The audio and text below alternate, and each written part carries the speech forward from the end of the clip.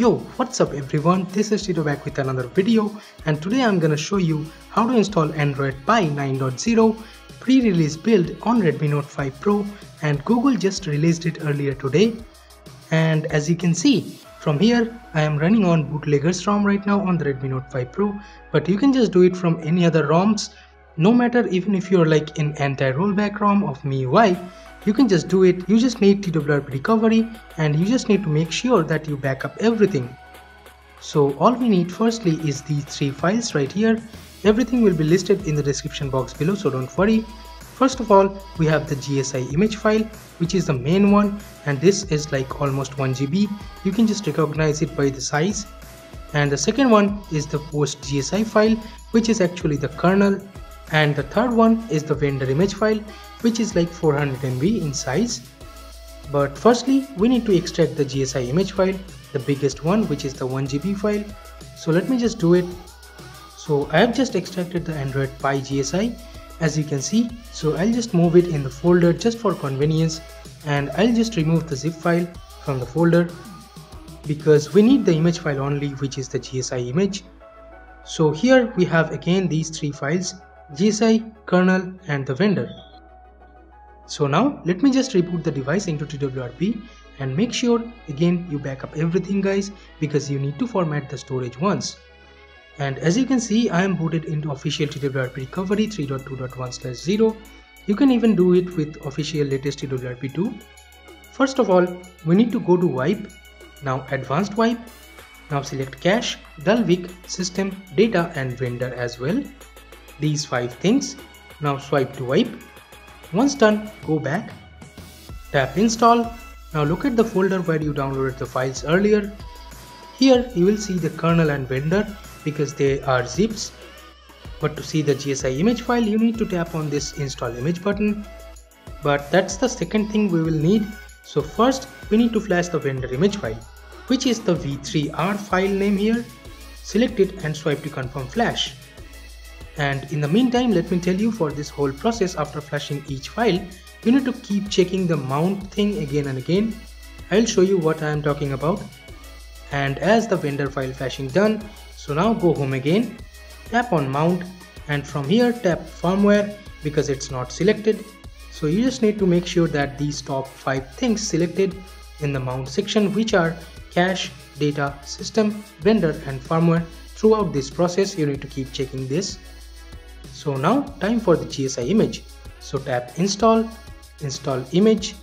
Now select the GSI image. Now flash it as system image and swipe to confirm flash and it's done.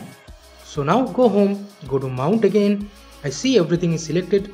So go to install again. Now select the post GSI 3 which is the kernel.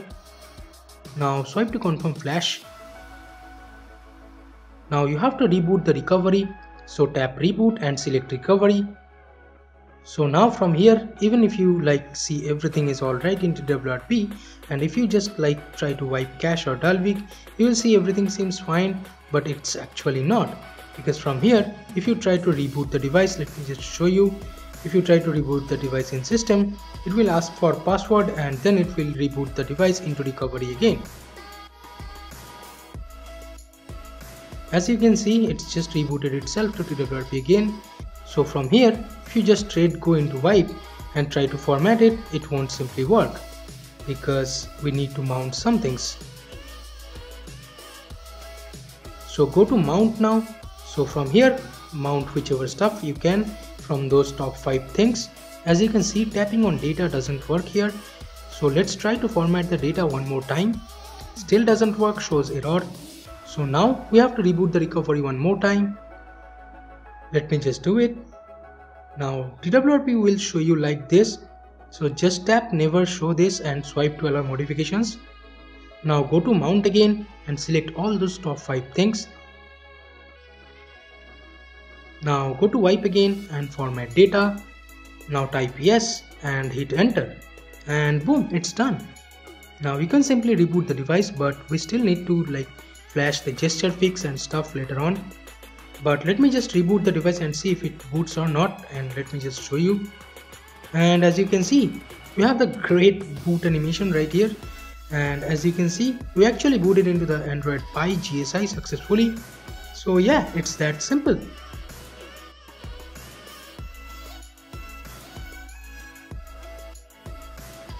And of course we have the damn awesome looking Android Pie quick toggles and the animations god damn makes me feel sick in a good way. Let's jump into the settings now. Yeah it's gonna show you some white screens for the first couple of seconds. Just don't worry because we still need to install the google play service fix and gesture fix. And in the about section as you can see running fresh 9.0 android pie with latest august 2018 security patch which is just amazing in my opinion.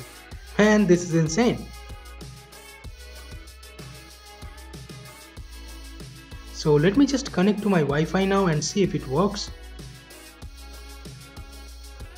I just entered the password. Let me just tap connect and holy smokes, it's working. And at this point, we just need the phone to boot into TWRP, connect it with micro USB to the PC and copy the gesture fix, the play service APK and Camera2 API if you need that. All the links are in the description so don't worry. So once you have copied everything in the device, now simply head back to TWRP and first check the mount.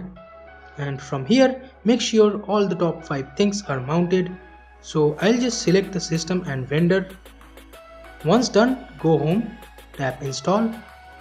Now I'll just select the overlay PR1 which is the gesture fix for the Pie pre-release. I'll skip the Camera2 API just because I want to check if the camera is working fine without this so as it's done let me just reboot. Tap reboot system. Do not install. So now let me go to gesture. And here as you can see we get the swipe up home gesture and it's working super fine. Now let me just install the Google Play Services APK because otherwise you will keep seeing the white screens and stuff. And after installing the Google Play Services make sure you clear its data once and this home button swipe up gesture to get recent thingy working super fine here too as you can see. Well, enough talking about the miscellaneous stuff. I just installed Open Camera from Play Store just to check if the camera is working fine or not. And I have a good news. Yes, it's working super fine, but of course the results are nowhere close to GC Cam or MIUI camera, but yeah, it works. Note that I did not flash the Camera2 API zip here. It's just working right out of the box. And this was my expression well, I'm shooting this video in the middle of the night, so don't judge my face. And I even tried to open the camera in the Facebook app, which you get by swiping from the left. And yeah, it did work, which is just great. And after inserting my Jio SIM card on the phone, I did not see any sign of network, but listen, all I had to do to get it working 100% is just select the access point and then go to the preferred network type and select LTE. And boom, VoLTE and 4G data started working right away.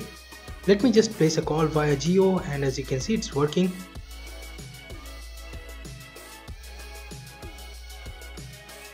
And yes, of course the fingerprint scanner is working super fine and the setup looks dope as you can see. And here is the fingerprint scanner unlocking speed for you. Feels legitly fast in my opinion. It doesn't feel like it's a ROM ported from Google Pixel XL and it's released just some hours ago by Google themselves. The way the animations and the device feels even right at this point of this pre-release is commendable and the Project Treble thingy is effing late. Like what do you want more? Everything like Wi-Fi, hotspot, camera, torch, double tap to wake, almost every damn thing is working super fine with the latest build of Android Pie or version 9 of Android which has just been released by Google themselves and remember it's running this fluid on a phone cost just 15,000 rupees. I'll leave it here for now. Kudos to Xiaomi, kudos to Google and most importantly the developers. Thank you so much. If you want a full review of this Android Pie build on Redmi Note 5 Pro, you know what to do. Well, subscribe to the channel. While you're waiting for this line, do it. Thanks a lot for watching guys. This is Tito from KTN Tech signing off for today and I'll catch you guys in the next one. You guys have a great day.